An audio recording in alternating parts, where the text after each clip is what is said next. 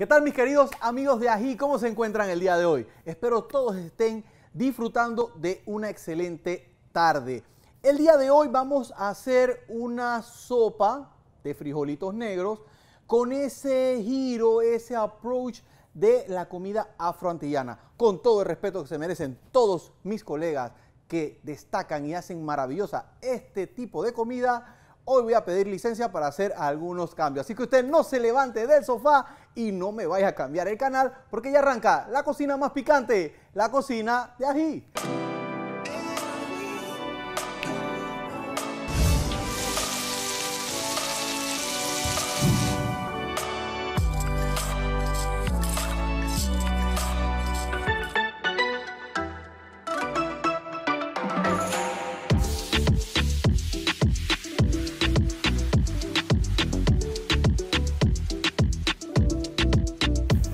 Como pudieron observar, ingredientes simples, sencillo. Esto es una cuestión más de pasión, de sabor, de lo que usted le quiere incorporar a este eh, platillo sencillo, muy humilde, pero que ha alimentado a generaciones de familias con el pasar de los años. ¿Qué lleva? Lo que se encontraba en ese momento, lo que había en el vecino, la verdulería de al lado, en, la finca o en el terreno, lo que se haya sembrado. Y por eso decidimos hacerlo así como ustedes ven, agregando algo que tenemos en la nevera. Por acá yo tengo unos chorizos, chorizo el que sea, después que sea eh, de buena calidad, con estructura de sazón, especias, algo muy muy importante para la comida afropanameña es esa mezcla de sabores cada cocinera le imprime a su plato.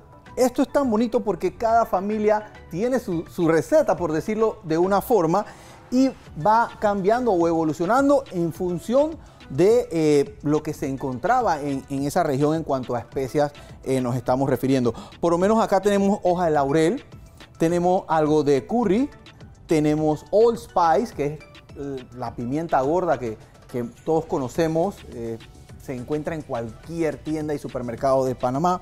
Tenemos algo de paprika, ¿verdad? Para darle ese tono eh, eh, rojo. Y pimienta, pimienta. Si queremos hacerlo picante, se podría poner pimienta cayenne, eh, y chombo habanero también, que por desgracia no tengo el día de hoy, pero por favor, es súper fácil de conseguir. Y si no, eh, cualquier salsa picante que tengan en casa. Eso sí, mucho mejor si son de las que hacen nuestros queridos cocineros o productores de salsas eh, afropanameñas que pueden encontrar en todo Río Abajo, Colón, Bocas, ya les digo, un montón. Ustedes escríbanme arroba chefamal y yo les voy a recomendar de las mejores del patio. Bueno, siguiendo con el, el tema de las especias, no podemos dejar eh, olvidado algo que nos caracteriza mucho a los panameños, el culantro. Aquí lo tengo picadito. Ese, ese, ese sabor acidito, muy fragante que nos da el limón. Tengo tomillo. El tomillo es como una hoja santa, diría yo, para la comida antillana. El tomillo, el thyme, lo usan mucho en todas las recetas. Yo tengo uno aquí que fue fresco, cultivado acá en Panamá y cosechado, una hoja larga, más gruesa y que la que estamos acostumbrados a ver en, en- en otro tipo de tomillo silvestre, pero el que usted tenga, seco o fresco, va muy bien. Ajo, no puede faltar ajo. Tiene que llevar ajo. Esto y cualquier receta eh, lleva una buena dosis de ajo y verduras. Bueno, jengibre, ¿ah? la raíz poderosa, mística, no puede faltar. Y en cuanto a verduras, te- tenemos zapallo, tenemos yuca, tenemos ñame y otoe. Papa, claro que puede llevar papa. Zanahoria, ni se diga, tiene que llevar zanahoria. Esto es una sopa con mucha, mucha eh, sustancia. Por supuesto, algo de tomate, ajíes, cebolla. Me gusta usar el, el- puerro. Usted puede usar también cebollinas, eh, cebollinas, pero todas, verde, blanco, todo, no, no solo la parte verde.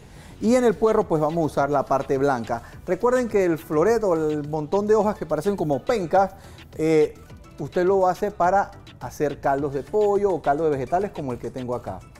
Y otro ingrediente maravilloso del el Caribe, la leche de coco. ¿Ve? Sofía, San Felipe, Neri, ahí usted tiene una persona que le raya, le hace el coco y usted después viene a casa y extrae.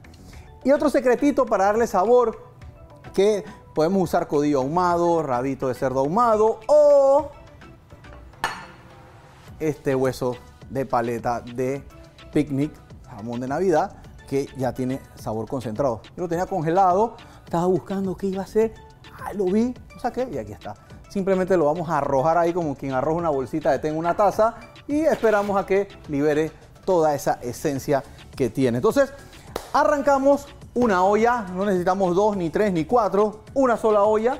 Activamos acá el calor, poquito de aceite vegetal o aceite de coco si tiene, maravilloso, no sé por qué no conseguí, se me fue la onda, pero si tiene aceite de coco, usted lleva esto de aquí a por allá, así fuera, hasta allá lo lleva solo utilizando ese maravilloso elixir. ¿Ven? Aceite de coco no tiene fallo. Ah, vamos a arrancar sofriendo o salteando nuestra eh, proteína. En este caso eh, es chorizo. Si usted quiere hacerlo con pollo, encuentro, queda bien. Ah, carne de puerco, como dije, rabitos. Lo que usted quiera, dele. Acá vamos a poner estos choricitos parrilleros, si quiere, eh, eh, ya le digo, el que usted, cual que usted más se identifique. Y le va a quedar igual de rico, ¿verdad? ah, ah los frijoles. Estoy usando frijol de lata negro. Sí, yo sé, yo sé. Pero también hay veces que no tenemos tiempo para poner los frijoles en la noche anterior. Eh, si no tiene ese tiempo, aquí va a ahorrar un montón de tiempo y eso no desmerita ni va a hacer que su preparación quede igual de sabrosa. Simplemente vamos a ahorrar tiempo con estos, eh, eh, estos frijoles de lata. Vamos a esperar que eso sufría. Mientras vamos a ir picando los vegetales. Por acá tengo cebolla, una cebolla pequeña como pueden ver o, o media grande o un cuarto de una muy grande.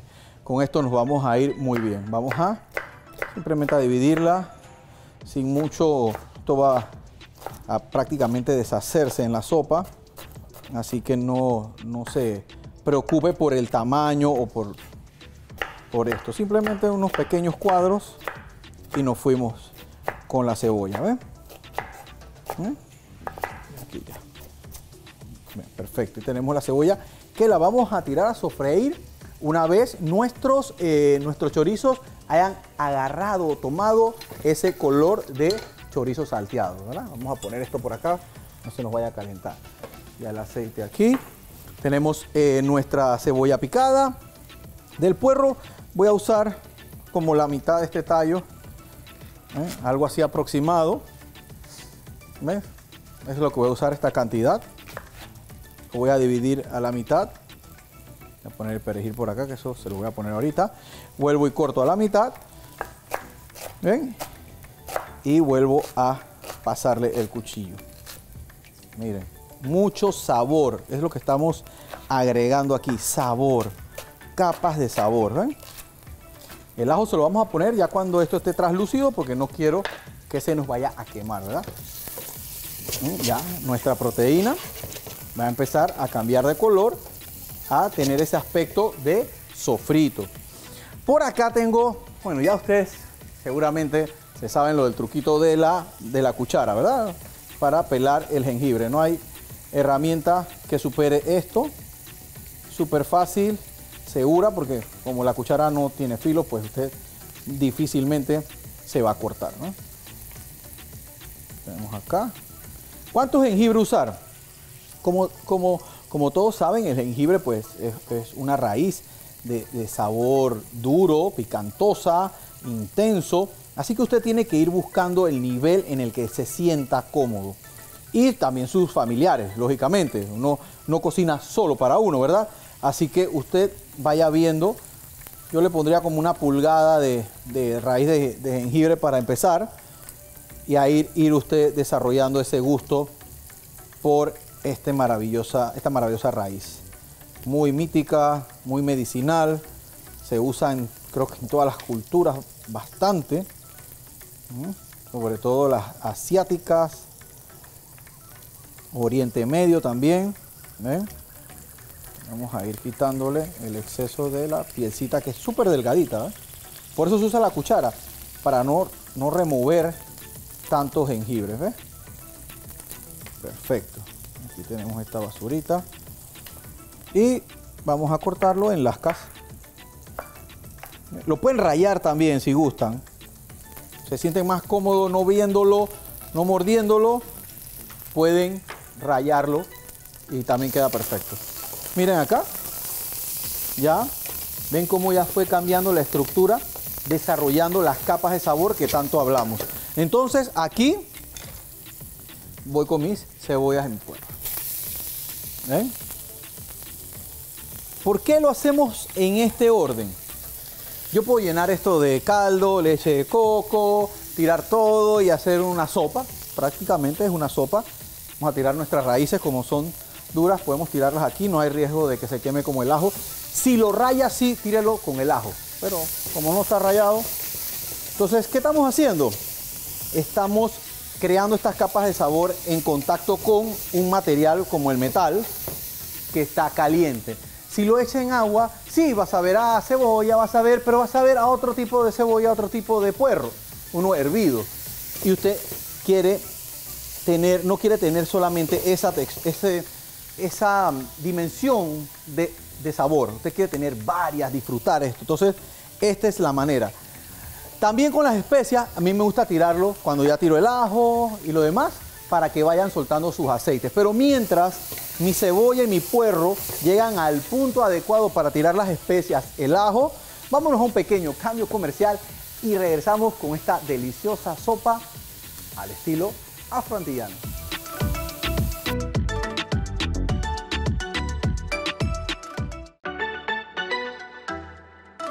Bueno, como pueden ver, en el tiempo que estuvimos en, en, ese pequeñísimo cambio comercial, ven cómo ya nuestra cebolla está muy, muy translúcida, nuestro puerro igual. Y ahora vamos a continuar con más sabor. Acá tengo mis ajíes. Usted puede ser pimentón, pico del oro, ají criollo, trompito. Sería la saca del estadio si le pone trompito, créame. Póngale todos los colores que tenga. Yo tenía eh, rojo, pero usted póngale todos los colores que tenga y continúe con el sofrito. Ah, por acá le voy a agregar mis especias. ¿Por qué le voy a agregar mis especias? Porque quiero que ese calor de, de la olla libere aún más su fragancia, sus aceites atrapados en las partículas. Entonces vamos a agregar todo adentro, con la hoja de laurel y todo. ¿eh? Entonces ustedes van a empezar a sentir el Caribe. Ya, se, ya, ya oyen la... ¿Verdad? Ya, todo eso. El, el ukalele, todo, todo eso que caracteriza nuestra comida, nuestra cultura, nuestra música afropanameña, pues gracias a esa influencia de todos esos trabajadores que vinieron para eh, la construcción del canal y dejaron y nos dejaron y se quedaron con nosotros, pero además nos aportaron un montón de cosas buenas, la gastronomía, la música, grandes deportistas, grandes médicos, hombres de bien. Así que felicidades. Ajo, vamos ahorita. Ajo, bastante ajo. Culantro, boom, adentro, sin miedo. Tomillo, time ya empieza la amalgama de sabores. Zanahoria. La zanahoria va a aportar dulzor, cuerpo, le va a dar cremosidad también a nuestra preparación. Ya lo pueden sentir, yo sé que se lo están imaginando porque en la cara se me nota lo sabroso, lo bueno de todo esto. Tomate, yo sé que todo el mundo se pregunta, ah, pero tomate en una sopa, chef, ¿usted, qué le pasó con eso? El tomate, los ácidos que tiene el tomate me van a ayudar a deglasear el fondo del sartén y vamos a liberar esos sabores atrapados del sofrito primero, de los primeros niveles. Dos tomatitos perita. Si no tiene tomate y tiene tomates de lata, póngaselos también. Si no tiene nada de eso y tiene ketchup, póngaselo también. Es tomate. ¿Ve? Así que usted agregue el tomate. Eso es lo que hace bueno. Tiene un poquito de sazón, algo de dulzor. Nada de malo. Usted ajuste después. ¿Ve? Entonces ese tomate va a empezar a liberar sus aciditos. Si lo puede aplastar un poquito, no pasa nada. Excelente también para que vaya liberando ese, ese jugo mágico que tanto nos gusta en nuestras salsas de tomate y en todo lo que le ponemos, ¿verdad? ¿Y qué va a hacer él?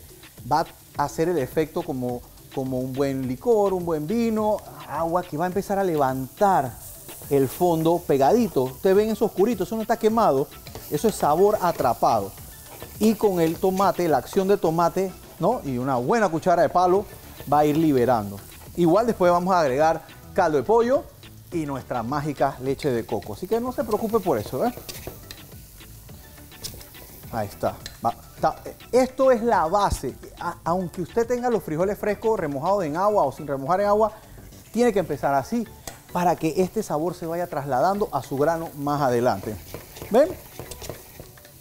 ¿Ven cómo ya empieza a despegar? ¿Ven cómo empieza a despegar el fondo por la acción de nuestro tomate?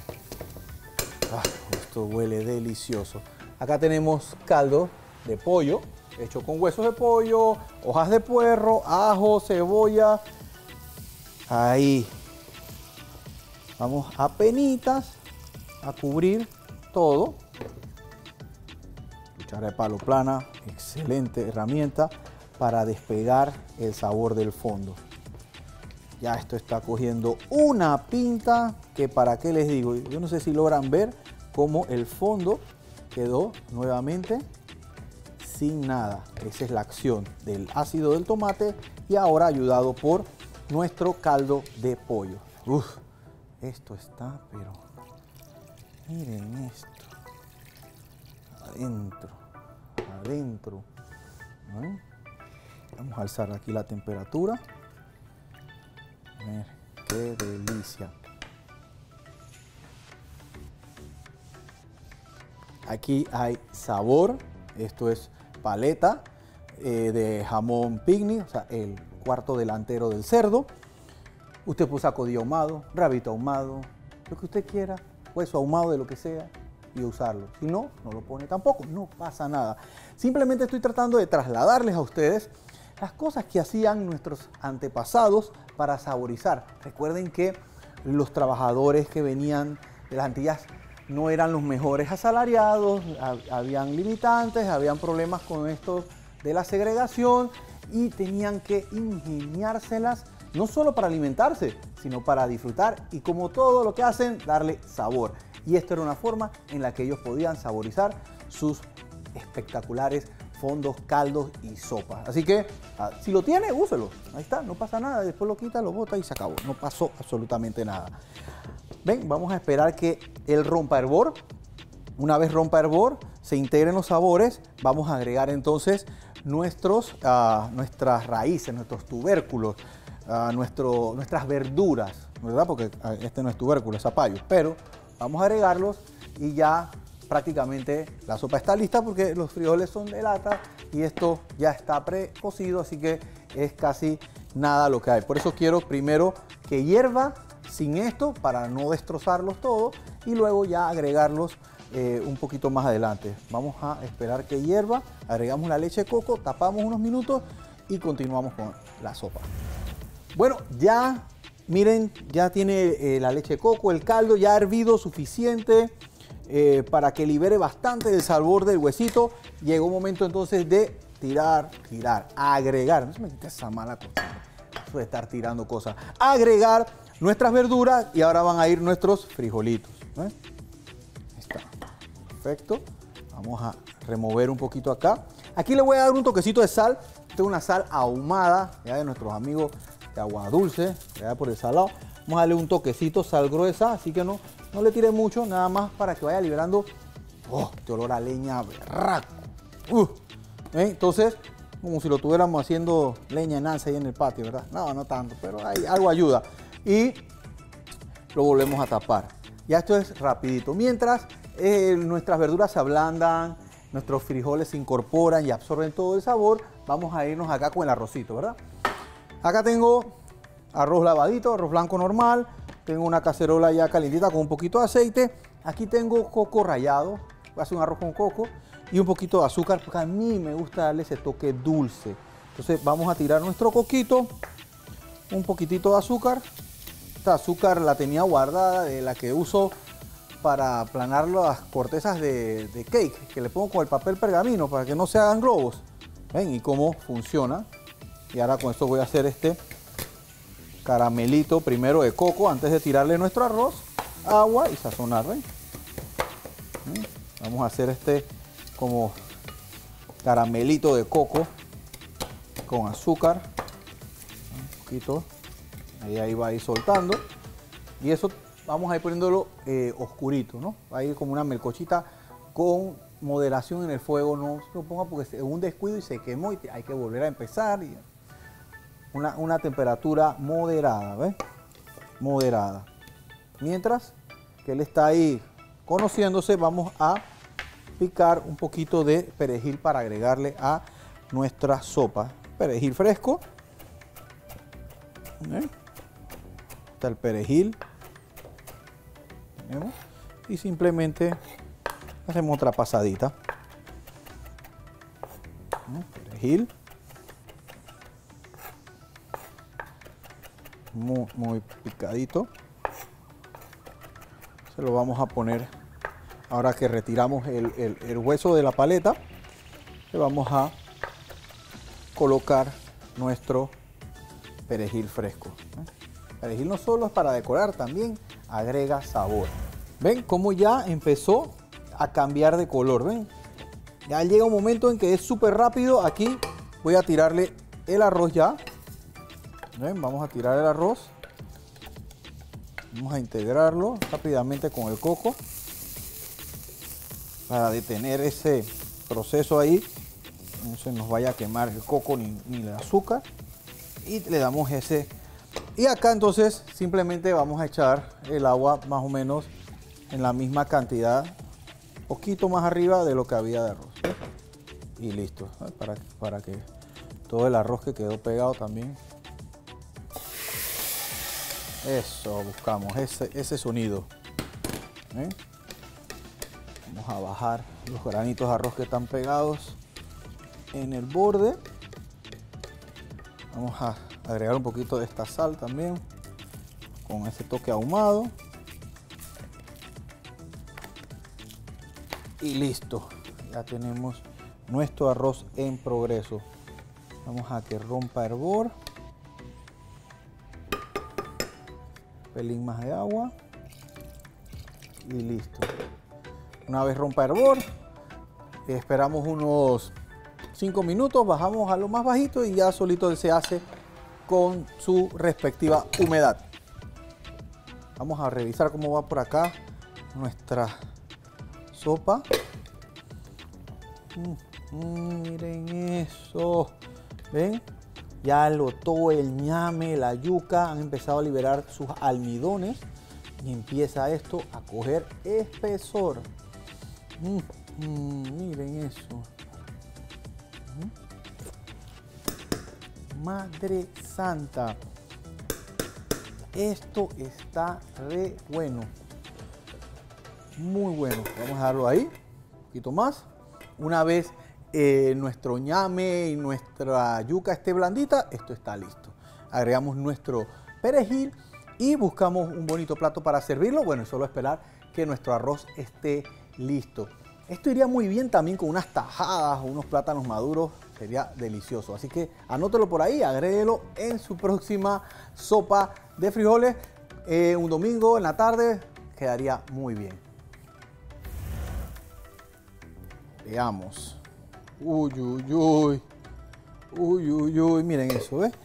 El espesor y la cremosidad adecuada. Si a usted le gusta más espesa, pues le pone más, más ñame o agarra uno de los que está aquí, los, los amasa, los tira, pero creo que esta cremosidad está adecuada. ¿Ven? Ya los sabores se han integrado. Ahora vamos a poner perejil. ¿Eh? Este perejil, guarda un poquito para decorar arriba. Si tiene. Ah, oh. No, esto huele, pero qué bien. La verdad que es alma, en alma, alimento para el alma. Esto alegra al espíritu, alegra a todo el mundo. Es una sopa para disfrutar con los que se quieren. Entonces vamos a servir acá poquito aquí. Que lleve sus choricitos, sus verduritas, frijolitos y sustancia. Miren esto. Aquí hay todo lo necesario para combatir cualquier virus. Miren esto. No. Ahí sí les fallé con la tajadita de plátano maduro. Hubiera quedado re bonito. ¿eh? Les van a decir que esto no les provoca. ¿eh? Una sopa bien hecha, hecha con todo ese amor y toda esa pasión que caracteriza a los cocineros afropanameños. Como les dije, nunca podemos terminar una sopa de estas sin un buen toque de picante afro. Y quiero rendir un pequeño homenaje a uno de los grandes de la cocina afroantillana, que lastimosamente ya no está con nosotros, pero dejó una semilla en muchos cocineros que van a venir a seguir desarrollando y dándole valor a esta maravillosa arte culinaria afropanameña. El picante de Donde Iván, pues que como todos saben ya no está con nosotros, pero sí nos dejó la sazón y el sabor de sus picantes y sus salsas. Y no podemos dejar pasar esta ocasión sin utilizarlo. Bueno, aquí está nuestra sopa afroantillana con toda esa alegría, sabor, color, textura que caracteriza a todos nuestros hermanos afro que han venido desde muchas generaciones aportando a este maravilloso país que llamamos Panamá. No me queda más que agradecerles su audiencia, hayan permitido entrar en sus hogares y sobre todo en su cocina. Y nos vemos en el próximo programa de la cocina más picante, la cocina de ají. Nos vemos.